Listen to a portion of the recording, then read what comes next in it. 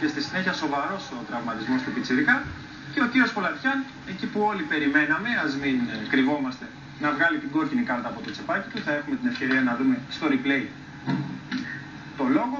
Με το Βιερίνια να σφαδάζει από τους πόνους, το να προσπαθεί να συμμαζέψει τα σημάζευτα. Φυσικά έξαλλος και ο Σάντος. Ο Σάντος είναι έξαλλος και με τους ανθρώπους του πάγκου που μπαίνουν μέσα και εδώ πρέπει να του δώσουμε και τα, να του πούμε τα εύσημα.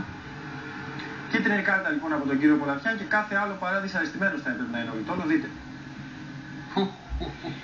Εδώ αριστερό πόδι κατευθείαν, να βρει πόδι μόνο. κατευθείαν στον Αχίλιο, πολύ επικίνδυνη προβολή. Δεν το συζητάμε.